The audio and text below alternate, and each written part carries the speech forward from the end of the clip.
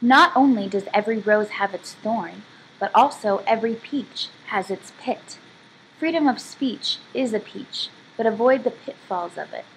So put that in your pipe and smoke it, boys of poison. But you shouldn't be smoking anyways. Go read Doctrine and Covenants 89. It's a, a doctrine called the Word of Wisdom. It'll change your vida.